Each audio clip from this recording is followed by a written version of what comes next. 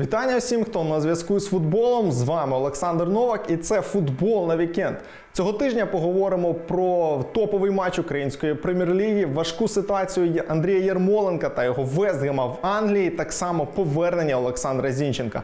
Ну і друзі, не забувайте переходити за посиланням під цим відео. Наші партнери підготували для вас велику кількість матчів та найвищі коефіцієнти.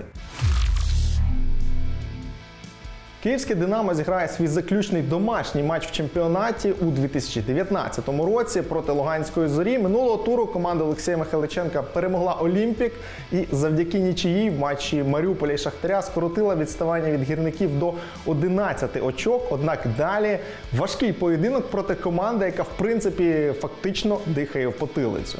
В свою чергу луганці минулого туру впевнено вдома розібралися з Карпатами і десь вибачились перед болівальниками за поразку за тур до цього від Олександрії. Е, вже в дебюті другого тайму Віталій Вернедуб е, після подачі з котового відірвався від опіки захисників, перестрибнув Назарину і Мартінса, забив у ворота Карпат. Ну а вже наприкінці матчу крапку в тому поєдинку поставив Назарій Русин. Хоч захисник в підкаті й намагався вибити м'яч після прострілу від е, Владислава Кочергіна, але влучив саме в Русина. Ну і таким чином 2-0 перемога команди Віктора Скрипника. Щоправда, вже в матчі проти Динамо Русин не допоможе зорі. Так само не зможе зіграти і Богдан Лєднєв, адже обидва футболісти орендовані саме у київської команди. Ну і обидва вже по ходу сезону стали фактично незамінними для Віктора Скрипника, адже Русин витіснив Пилипа Будківського, який на початку сезону вважався основним нападником. Ну а Лєднєв залишив у запасі Дмитра Хомчиновського. Назарій Русин забивав в останньому домашньому матчі Динамо проти зорі. Однак е, у складі білосиніх тоді вже на 11-й хвилині нападник вивів вперед киян. Щоправда, якщо уважно подивитись повтор, то помітно, що м'яч потрапив у ворота від ноги захисника, а не форварда. Щоправда, м'яч все одно записали саме на користь Русина. Однак перемогти в тому матчі цей гол не допоміг київському Динамо. У компенсований час сіла спочатку заробив штрафний удар, а вже згодом сам його і реалізував.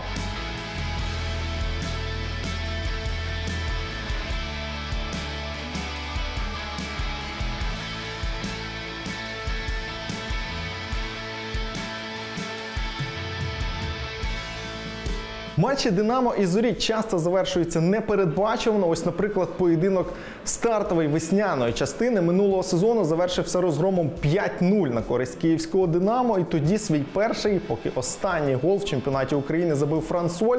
Також дублями відзначились Бенімін Вербіч та Микола Шапаренко.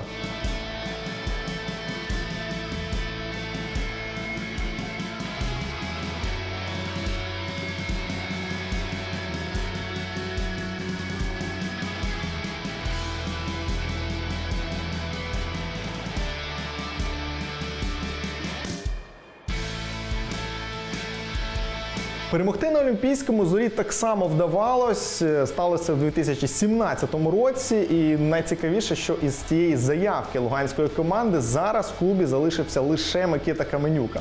У Динамо змін трішки менше. Сім футболістів із заявки на той матч залишається. В складі білосиньої команди, однак тренером на той час був Сергій Рибров. Ну а голи Бонавентура та Чечера дозволили якраз таки виграти в тому матчі саме Луганській зорі.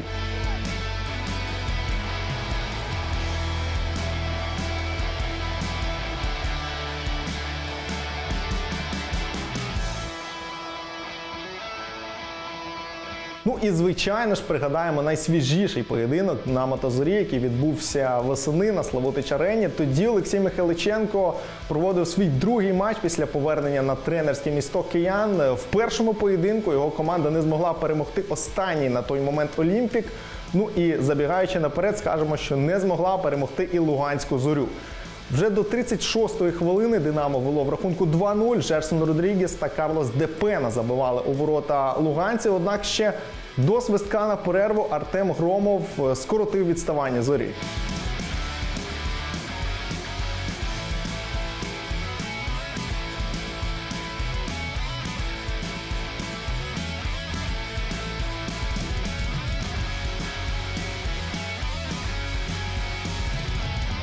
А ось те, що сталося після перерви, просто жахіття і катастрофа для вболівальників київського Динамо. Їхня команда просто зупинилась. Ну і на 82-й хвилині сталося те, що в принципі назрівало впродовж усього другого тайму.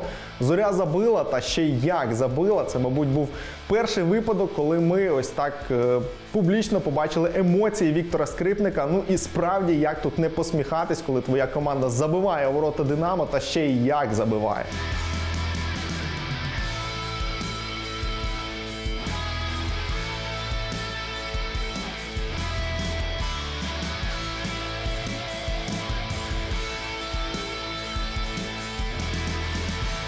На щастя для Динамо це був вже кінець матчу. Ну і на щастя, тому що зоря відчувала в собі впевненість та сили забити ще. Ну і до речі, просили, мабуть, найкрасномовніший епізод е, саме завершення того матчу. Зверніть увагу, як Сергій Сидорчук, який вийшов по ходу другого тайму, повертається назад, і як на його фоні біжить Богдан Михайличенко, який до цього відпрацював усі 90 хвилин по лівому флангу.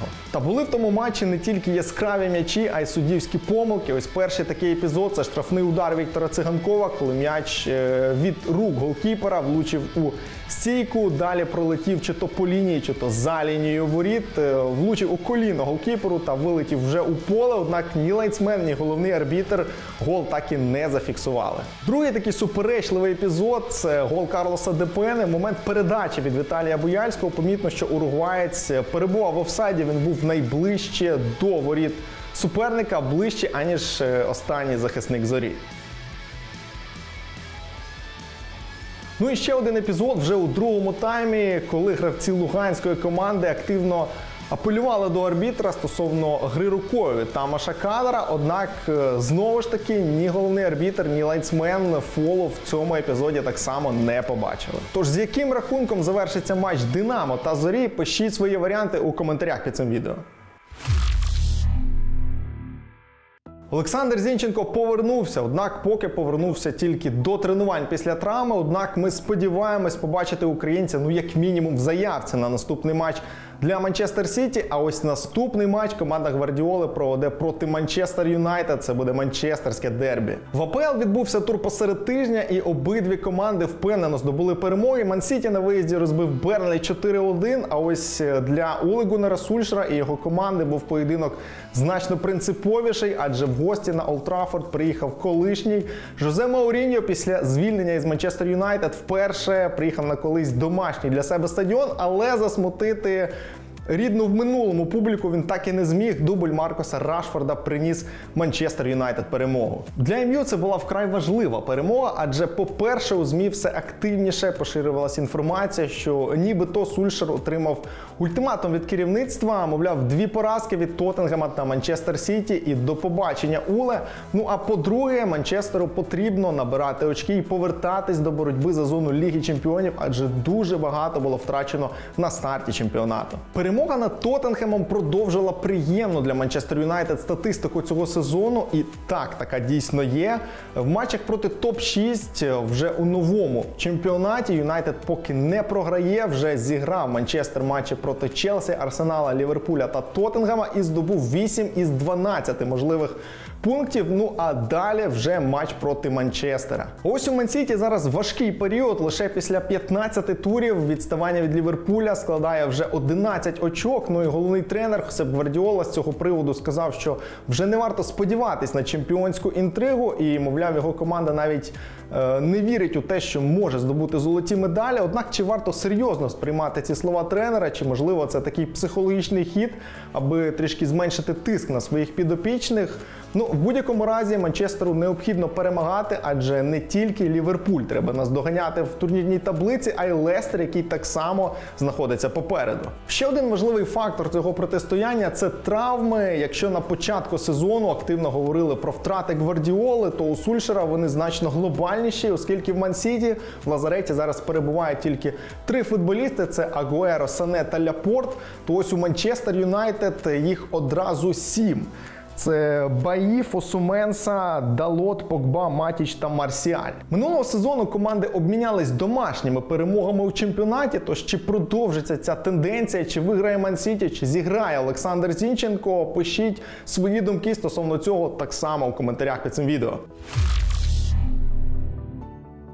Вестгем знову програв, а Ярмоленко знову залишився на лаві запасних. Такий коротенький підсумок матчу попереднього туру для молотобойців. Ну і з огляду на те, як відбувався поєдинок проти Вулвергемптона, перемога над Челсі туром раніше виглядає не більше ніж випадковістю для молотобійців. Везгем провів ще один провальний матч, і від глобального падіння в турнірній таблиці команду Ярмоленка врятувало лише те, що декілька переслідувачів. Лондонців так само програли свій матч. Ну однак Андрій вийшов на поле в другому таймі. Щоправда, сказати, що його вихід змінив докорінно те, що відбувається на полі, не можна. Ярмоленко разом із Марком Ноблом отримав найнижчу оцінку за той поєдинок. Ну і за 30 хвилин статистичні показники українця достатньо скромні. Ярмоленко здійснив 11 дотиків до м'яча, 10 передач, 8 з яких були точними. І так само на рахунку українця один заблокований удар по воротах суперника суперника. Андрій Ярмоленко переживає спад, і цим так само можна пояснити його непотрапляння до стартового складу Вестгема. Ну і пригадаємо, що востаннє результативною дією українець відзначався ще у матчі 10-го туру проти Шеффілд Юнайтед. Ну а забити у ворота суперника вдавалось. Ярмоленку аж 28 вересня. Далі на Вестгем чекає матч проти Арсенала, який пережив тренерську відставку, і обов'язки Уная Емері тимчасово виконує колишній футболіст лондонського клубу Фредді Юнгберг. Щоправда, далі для Арсенала матч гостьовий проти Вестгема. Ну а саме виїзні поєдинки вже давно стали проблемою для канонірів ще із часів Арсена Венгера. В цьому сезоні в АПЛ Арсенал виграв тільки один виїзний поєдинок, і той відбувся аж 11 серпня. Це був перший тур матч проти Ньюкасла. З того часу ще 6 матчів, 3 нічиї та 3 поразки. Останнім часом нелегко складається для Арсенала і матчі проти Вестгема саме на його полі. В чотирьох поєдинках тільки одного разу Арсенал зміг перемогти. Тож як гра завершиться цього разу? Чи вдасться Вестгему виграти, чи заб'є нарешті Андрій Ярмоленко? Пишіть свої думки. Ювентус втратив лідерство у серії А. Команда Мауріціо Сарі на своєму полі не змогла перемогти Сасуоло. Більше того, до 68-ї хвилини чемпіони поступались 1-2. Зрівняв рахунок ударом із пенальті Кріщано Роналдо і португалець забив свій перший м'яч за останній місяць. Однак на цьому приємні новини для Ювентуса завершуються, адже туринці втратили перше місце. У лідері чемпіонату вирвався інтер. Ну і тепер туринці перебувають в незручному для себе і незвичному становищі становище, адже тепер вже їм доведеться наздоганяти лідера. Далі у Юве непростий матч проти Лаціо, адже саме римляни мають поки що найкращу переможну серію. Шість поспіль успішних матчів у столичного клубу. Ну і так само відзначимо те, що Лаціо не втрачає очок в тих матчах, де вони повинні перемагати, що і дозволяє наразі йти на третьому місці у серії А. Однак є одна проблема: Лаціо зіграв вже із трьома прямими конкурентами цього сезону і не виграв жодного матчу. Римляни зіграли в нічию проти Роми та Аталанти і поступились інтеру. Про відмінну форму Лаціо свідчить і командна статистика. Лаціо друга найрезультативніша команда серії А після Аталанти. На рахунку команди Інзагі 33 забиті м'ячі. Також римляни входять до трійки команд, які найчастіше завдають ударів по воротах суперника. Ну і відзначимо ще один фактор: е, Лаціо найбільше забив і найменше пропустив саме в домашніх матчах сезону. Однак їхній майбутній суперник Ювентус це єдина команда, яка поки не програвала у серії А. Виокремимо так само найбільш небезпечних футболістів у складі столичної команди. Ну і в римлян це, звісно ж, е, в першу чергу Чіро Імобіле, головний бомбардир команди, який проводить просто фантастичний сезон. 17 забитих м'ячів в 14 матчах і ще 5 результативних передач. Натомість найкращий бомбардир Ювентуса Кріщано Роналдо забив тільки 6 м'ячів. Ну і ще один гравець, який заслуговує на увагу, це Луїс Альберто, головний креативний центр команди. Футболіст, який свого часу так і не зачепився за місце в старті Ліверпуля. Зараз є ключовим вже у Лаціо. Ну і на його рахунку 9 результативних та 15 ключових передач цього сезону. Ще один цікавий нюанс цього матчу це те, що головному тренеру Лаціо Сімоне Інзагі 43 роки. Він вже 9 років працює е, тренером в структурі клубу, в той час як голкіперу Ювентуса Джан Луїджі Буфону 41 і він досі продовжує грати. Матчі проти Лаціо на Стадіо Олімпіко в цілому позитивно складаються для Ювентуса, адже п'ять поспіль останніх зустрічей в чемпіонаті неодмінно завершувались на користь Юве. А ось програвали туринці на виїзді в останнє ще у 2003 році. Отож, друзі, пишіть свої прогнози на матч Динамо Зоря та не забувайте переходити за посиланням під цим відео, адже наші партнери марафон підготували для вас велику кількість матчів та найвищі коефіцієнти.